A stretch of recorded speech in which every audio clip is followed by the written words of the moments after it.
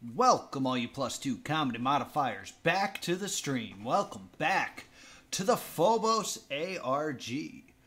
Phobos 80 30 53. I've never noticed this. Just do a quick Google of that, see if anything pops up. You guys on Twitter or something?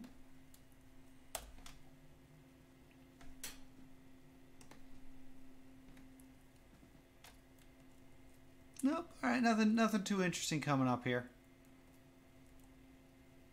But I thought that was interesting. Okay.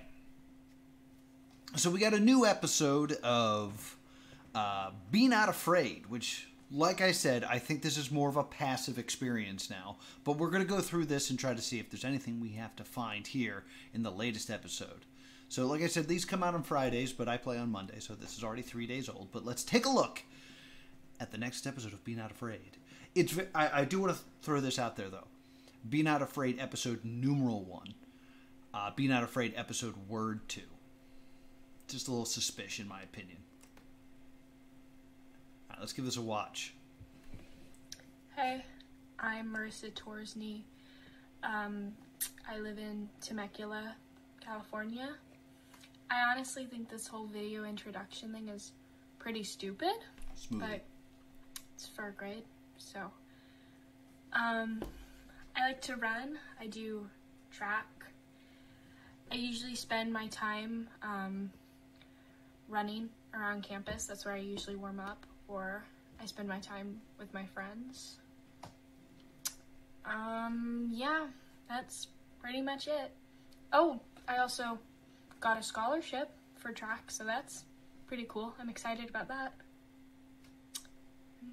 Yeah, that's it.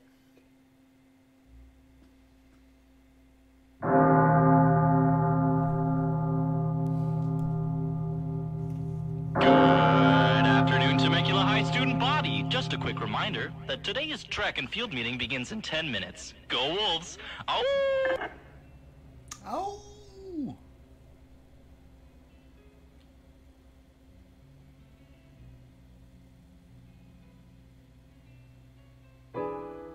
When I tell a joke, you've probably heard it before. That's where the monster is. A wonderful thing. Cause everyone listens when I start to sing.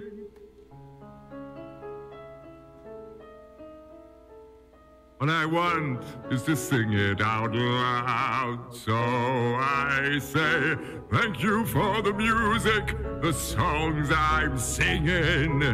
Thanks for all the joy they're bringing. Who could live without it? I ask in all honesty. What would life be without a song or a dance? What are we? So I say thank you for the music. For giving it to me.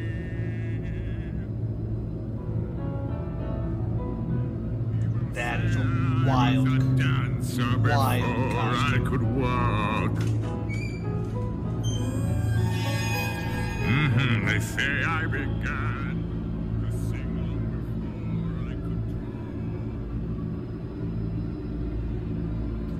You're a runner. Keep running.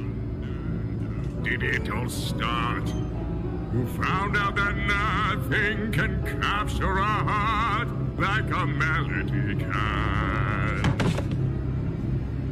Well, whoever it runner. was.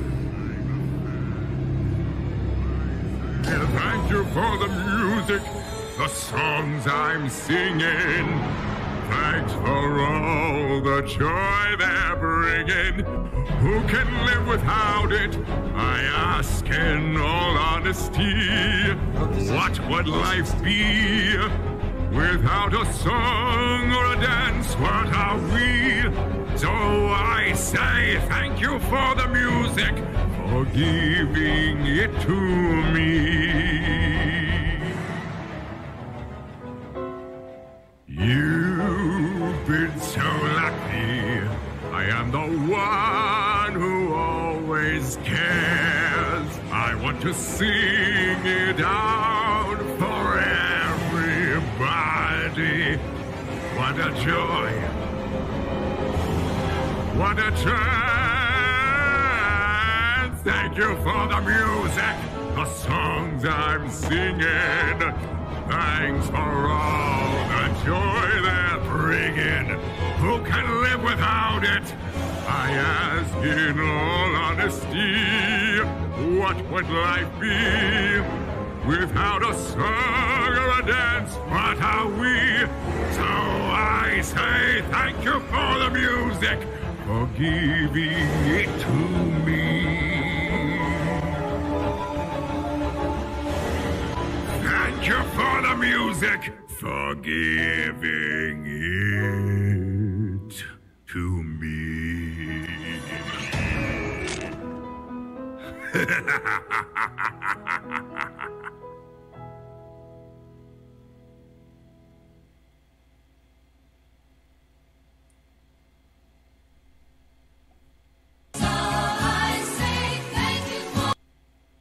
It's another ABBA song.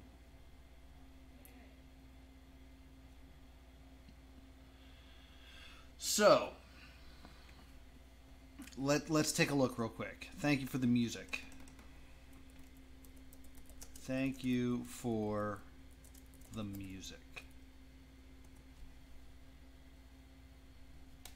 Mamma Mia.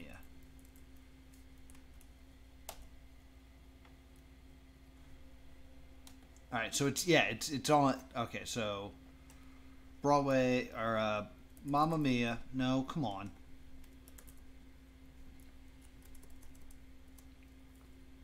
Broadway.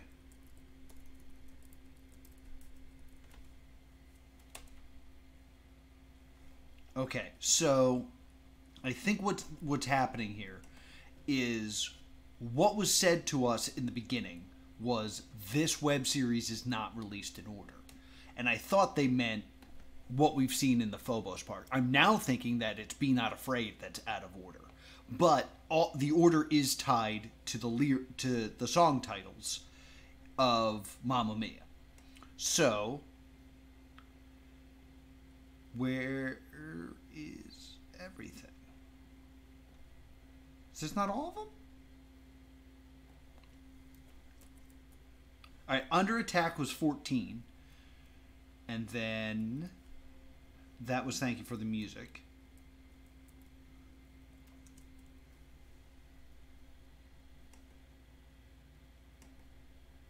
Which is 4. Okay, so that would imply that what we just saw was the first episode. Or, or the fourth episode. So it came before the previous episode that causes a lot of problems because we're seeing a progression of the list.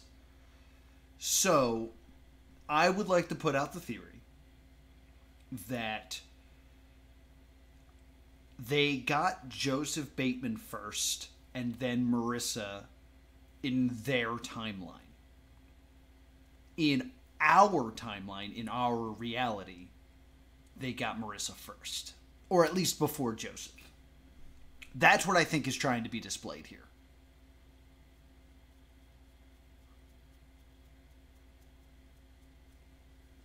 I think that makes sense.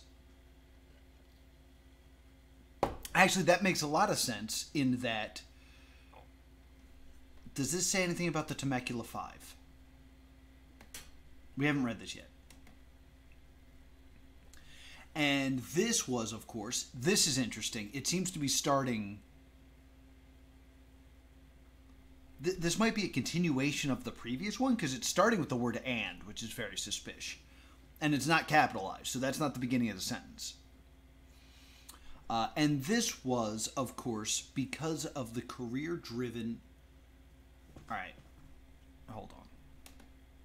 Let's let's go back to this. This would also imply that they're classmates. Oh, this might not be the beginning either. All right. What, what are my notepads right now? Uh, I don't need this anymore. Okay, that was that was old. Um, uh, decadent mind stuff.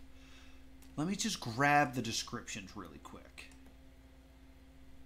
Because what I'm saying, if the if we're getting part of the story here, my guess is this is going to be the fourth part of the story. So I'm going to say that that it comes before this because I think this is under attack, which is track.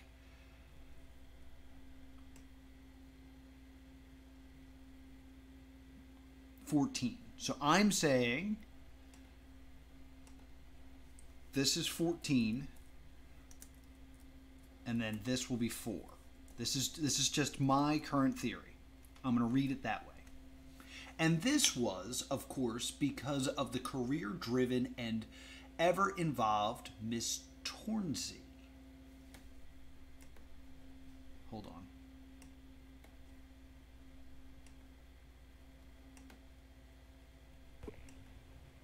Okay, so this is not the teacher. Okay.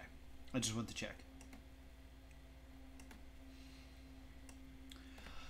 Ah, Miss Tornsey was often too busy to spend time with her friends. Classmates have told ETC News, exclusively we should add, that Tornsey was especially close with the anonymous confidant from the, for the purpose of the confidentially of an ongoing police investigation. We would refer to the individual as T.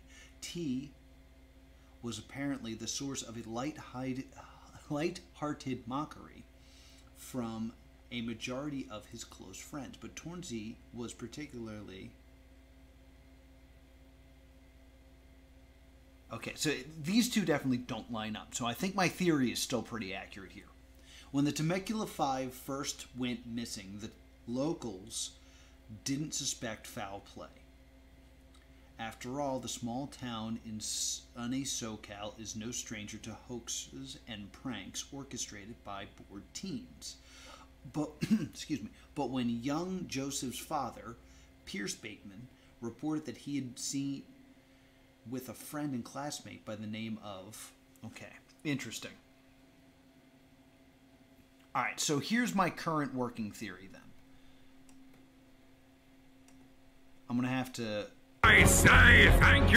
I just want to get to. As in all honesty, what would life be without a song or a dance? What are we? So I say thank you for the music, for giving it to me. That's such a cool ass mask. Thank you for the music, for giving it to me. Pop.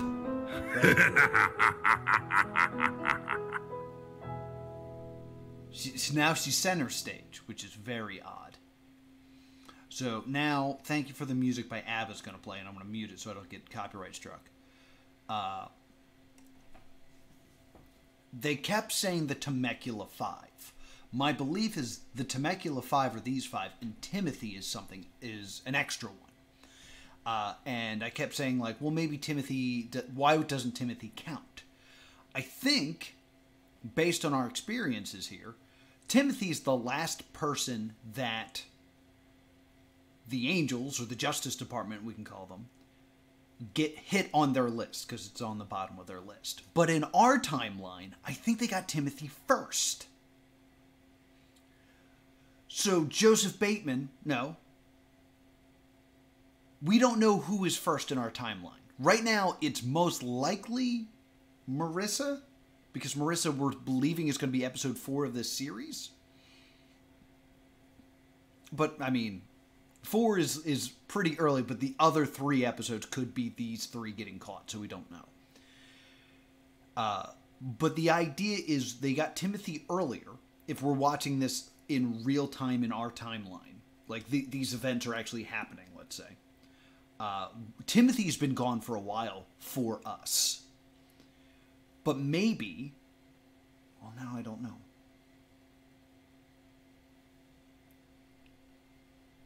My, my thought is that the five kids here go missing or, or killed and they find the bodies uh, after in our timeline, the Justice Department got rid of Timothy and threw him in the void or whatever.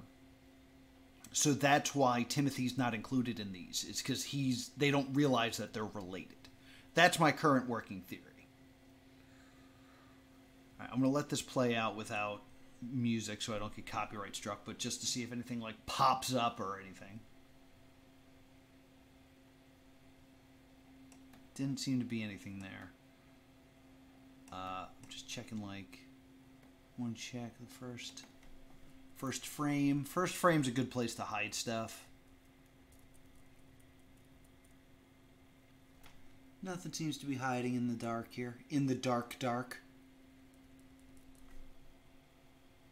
Interesting stuff here.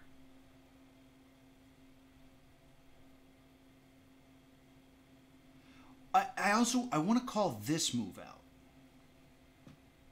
She seems to be hiding her breath as if that is the thing that is attracting our, our angel here, which would imply some sort of knowledge. Because I, I don't think it's like a don't scream. Because I don't think it's a, a cover the mouth, don't scream type thing.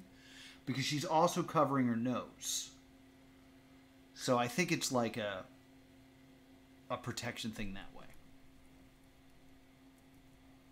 I forgot I can also. That's like a weird smiley face. Um,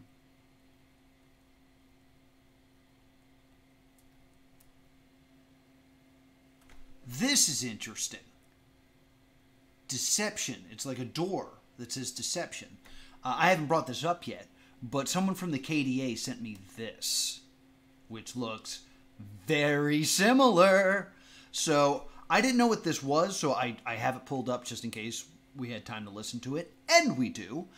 But I want to continue to just kind of thumb through this real quick to see if there's anything else I want to spot. But that definitely seems to be a call out to this uh, podcast or reading or whatever it is. Just kind of skimming through it, seeing if there's anything of note here. God, look at that mask. I really want to see some people cosplay.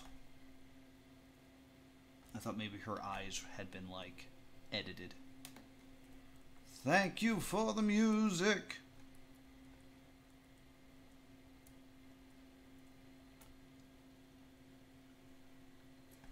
I don't know. If this looks a little bit suspicious, but I don't know what it could be. Um,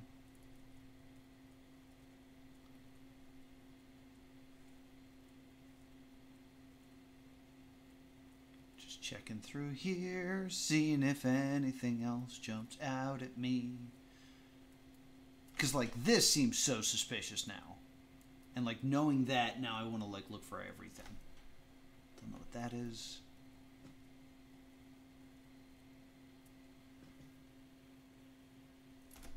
That's a bit odd. It seems very specific that that got in the shot on how that was shot. All right. Let's give this a listen then. Welcome, foolish listener. I am happy to have you here, to know that you have accepted my invitation to witness events of the unspeakably macabre variety. Be warned, for the following story is certain to chill you to your very core. I felt the wind in my hair. There was a great weightlessness to it, as if each strand of fibrous cuticle and medulla were themselves conscious, caught in unending yet ultimately aimless attempts at attaining a kind of freedom. They burst energetically from my scalp, disordinate and chaotic, moving to the furthest extent that they could while rooted to the firm interior of my porous skull. I felt a brief tingle of envy for those thousand lofty strands. They were free to move as they pleased, without any worry for outcome or precedent. I was suspended amid a dark place. Zero. I got zero hits. Maybe I get rid of the D? Uh, not right now.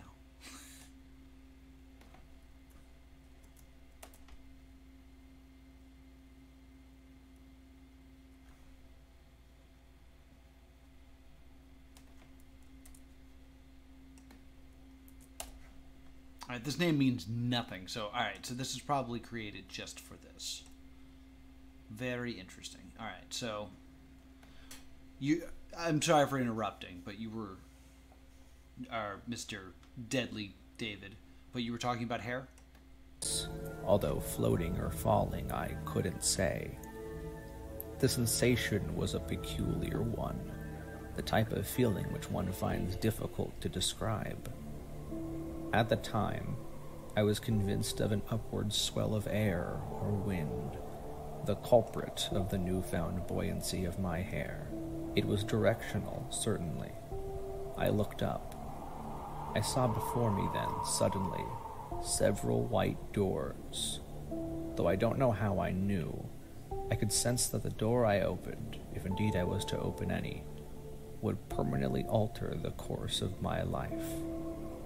The three doors closest to me had painted upon them a word, a different word for each door. I could faintly make out the word on the door closest to me deception. What could it mean? I had no clue.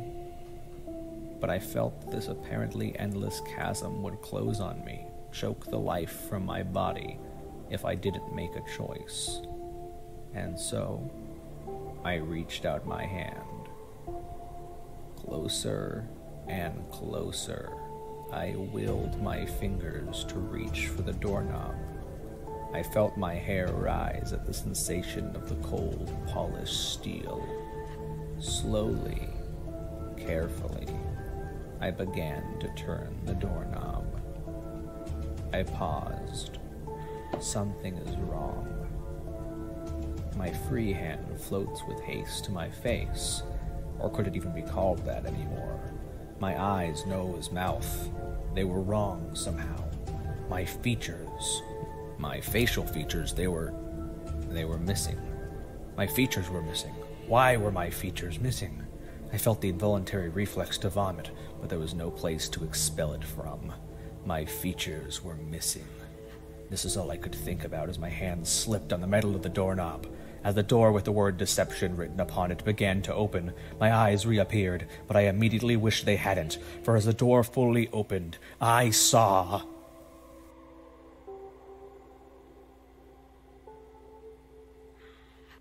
The features you've been missing are waiting for you with Spotify Premium. Unlock ad-free music and unlimited skips on any device. Plus, download your music and listen offline. Even search and play exactly what you're looking for with On Demand. A world of premium is waiting. Come back to a better way of listening. Tap the banner to learn more.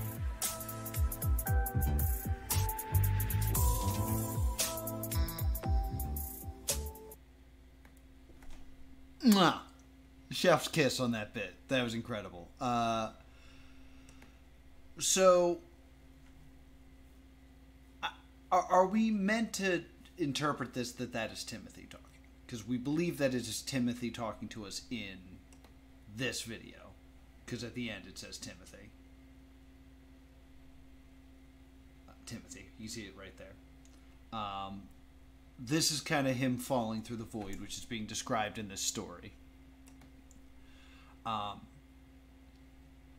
so it, it should be noted as well that his eyes reappear. That doesn't, or eyes appear. It doesn't mean that his correct eyes. Are we meant to believe that he's one of the observer like angels now, and has all those eyes across there? Very interesting. Uh, who are you, Deadly David? Watermelon. Uh, spooky and frightening tales. There is a, dif- a difference. That's that's all you got for me here. Can I get more information from you? Deadly David reads. Deadly David reads. I don't know how we we came upon this, but uh, we did or at least the KDA did, and they were nice enough to send that to me. So very interesting. We got the door that says deception, which we see in this video here. But like it should also be pointed out because we see it. Yeah, it's right there. I'm singing. So we could, in theory, believe that the void is on the other side of this, and this is where the protagonist of that story. I don't want to say it's Timothy for sure, but we could believe that that this is where they came out. It's quite possible. But the, the, the story also mentions three doors, but he only goes through deception. There's another door. for all the joy they're bringing. Who can live without it? I ask in all honesty.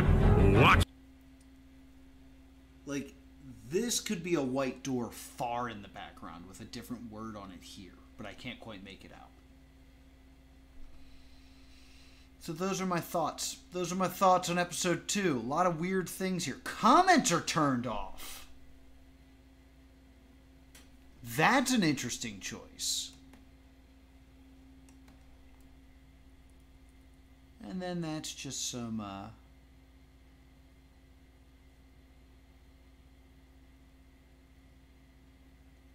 Oh, they they Darth Vadered it. um. All right, so the, there's no comments here, so nobody nobody's dropped anything interesting. Give it a like. Um, might did I not ring the bell? I've rung the bell. Look at me, be supporting a creator. Um, yeah, I think that might be all that we have to talk about here today. So we're, we're going to end a couple minutes early. Uh, but I think I think we have a couple good theories in place right now, uh, with the David Reads uh, seeming to tie into this, and also the idea that this is out of order and everything's going to be an ABBA song. So I I I think we have pieces in place. We just don't have all the pieces. So we're gonna have to wait until next week.